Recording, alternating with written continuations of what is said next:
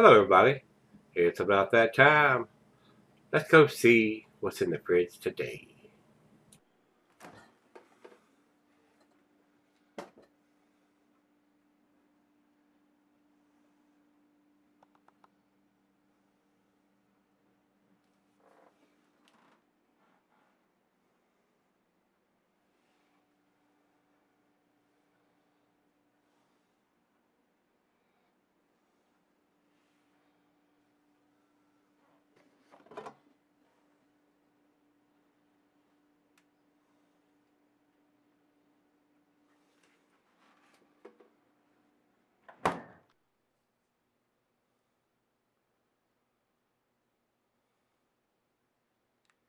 Hey everybody, thanks for stopping by Greg's Beer Reviews today. I do appreciate it.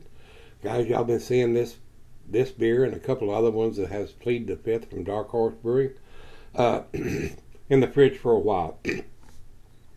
Rico sent me several different variations of this and I have done one or two uh, and I didn't go back and look and see which ones I've done. Uh, he sent me these and we're going to do these like I've never had them before. Uh, this particular one here is the black label with a logo cap. And the notes he sent here states the black label with the logo cap. Uh, and and that's very hard to differentiate. Black label with a logo cap, he says, is a 2012. And then in 2013, they did a black label with a logo cap. The ABV of 11% was in the top right corner. And the new government warning well, it does have 11% in here, and it does have, uh,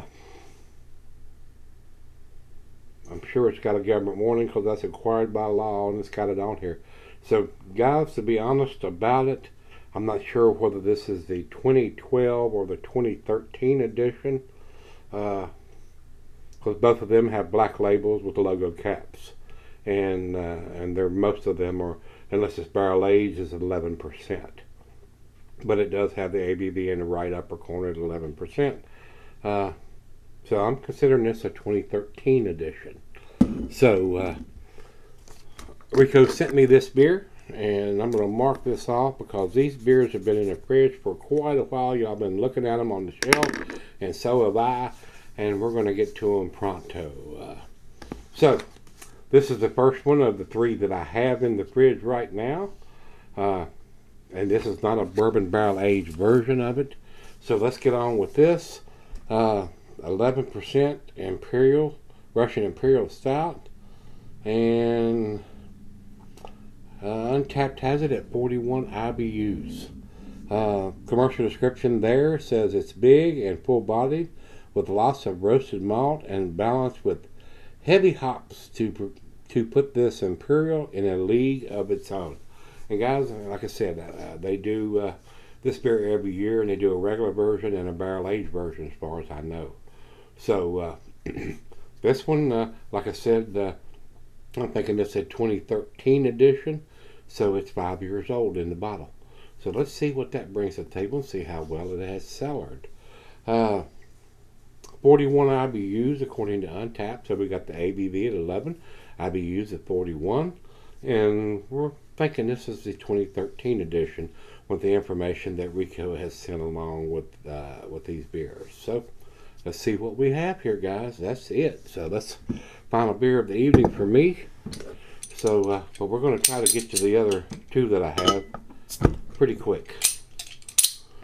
Uh, into the glass we go.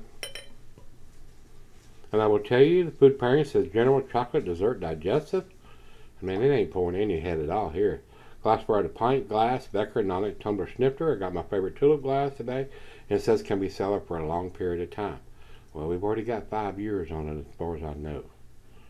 So, absolutely no head. Pouring no head at all. So, eh, it's a 12, uh, it's 11%. So, sometimes those bigger beers don't pour a lot of head. Uh, seem to be a little undercarbonated. So, it is pitch black, guys. I see absolutely no light coming through the beer. To the nose we go. Rich roasted malt, hints of uh, black molasses. Not getting any kind of chocolatey notes on it right now, but it's cold right out of the fridge. Those might come out as it warms up, which we will let happen. And there might be some dark fruit in there. I mean, I'm getting a little bit of little bit of raisins and dark fruit in there. So uh, let's see how it's selling. Cheers, everybody. Cheers, Rico.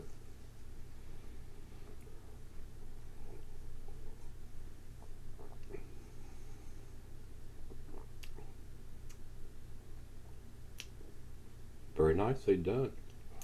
It has cellared very well, guys.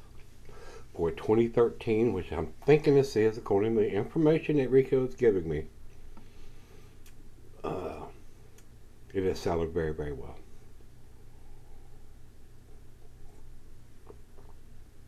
It does appear to be a little undercarbonated, but it's got a very tasty, very tasty taste. Imagine that. Tasty taste? Is that a word?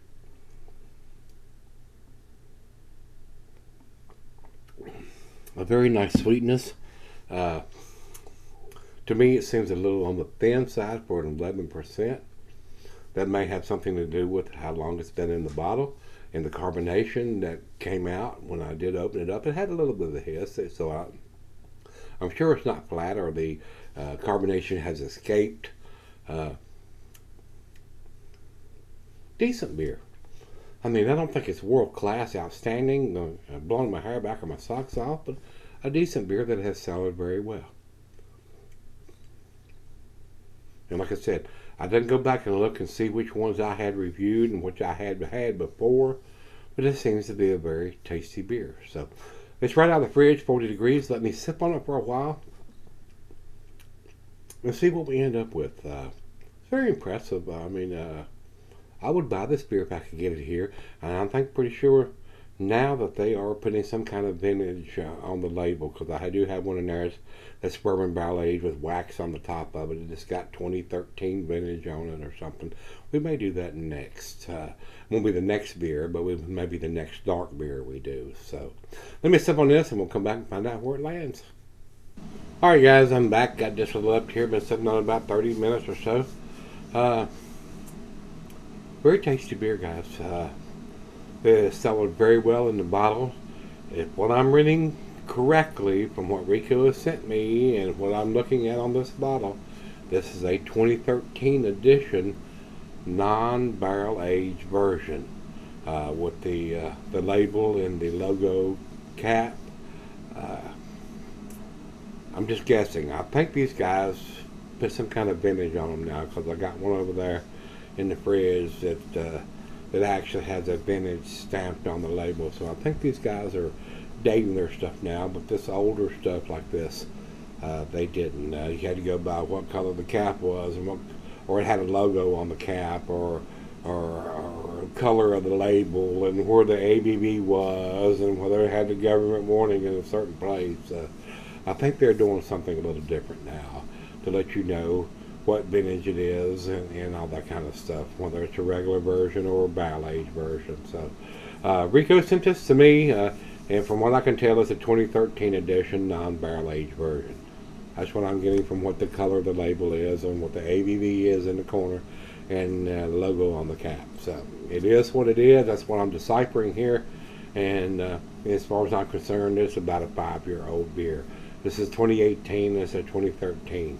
So, it's selling very well, guys. Uh, a very tasty beer. A very enjoyable beer, especially for the final beer of the evening, which it is for me. Very nice roasted malt notes. Hints of some dark fruit in there, black molasses. Very nice beer, guys. Very, very tasty beer. Final chug.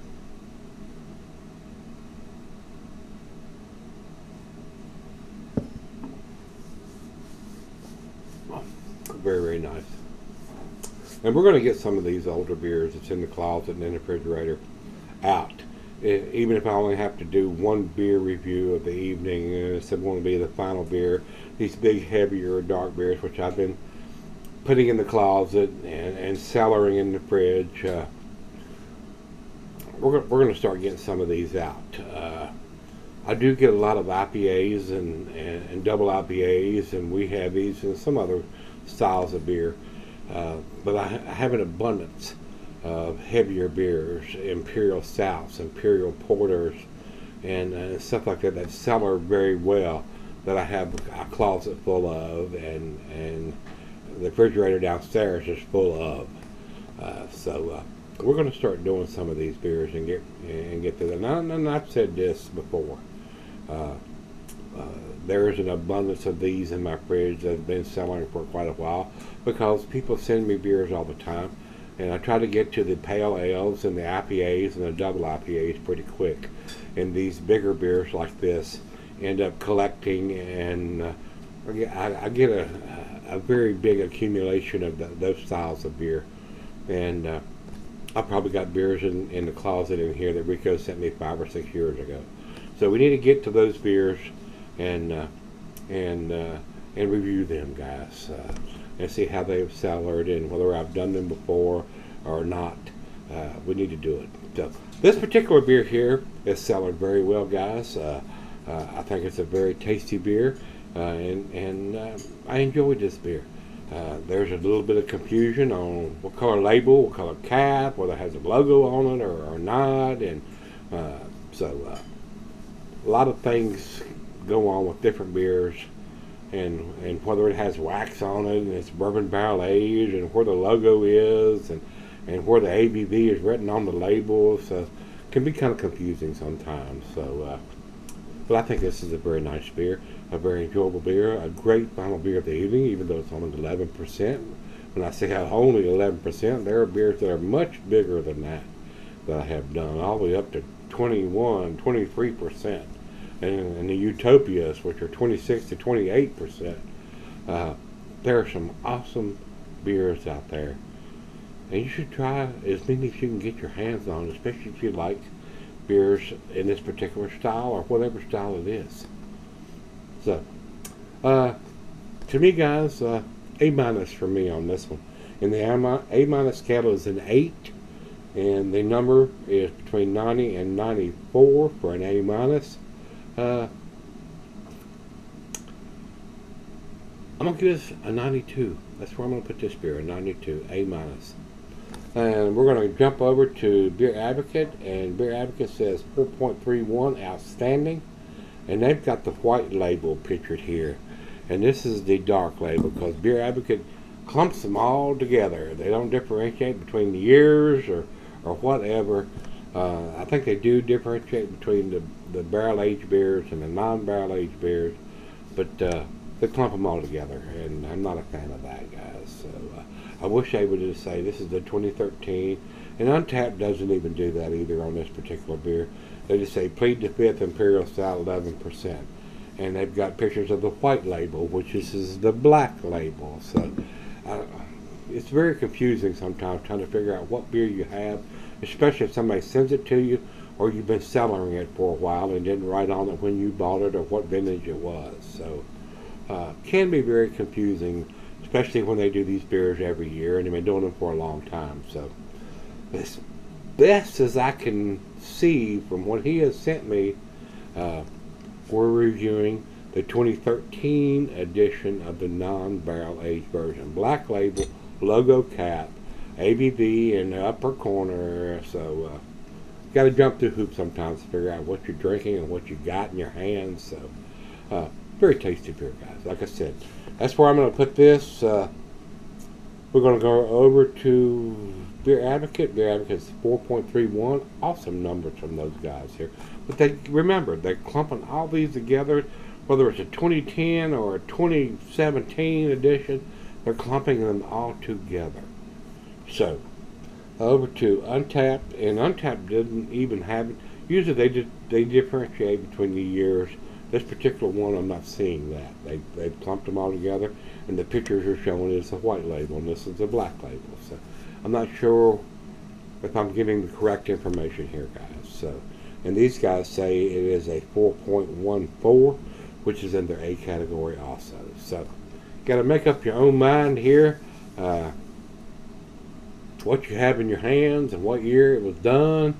Uh, so That's why another reason I want to get these beers out of the refrigerator and get them done and, and, and get on with it because it's very confusing sometimes on what information you get and what color the cap is, what color the label is, does it have a logo on it, and all that kind of stuff. So we need to get them out of here. They gotta go. They gotta go. All right, guys. If you've had this one from uh, Dark Horse Brewing, this is the Plead the Fifth Imperial.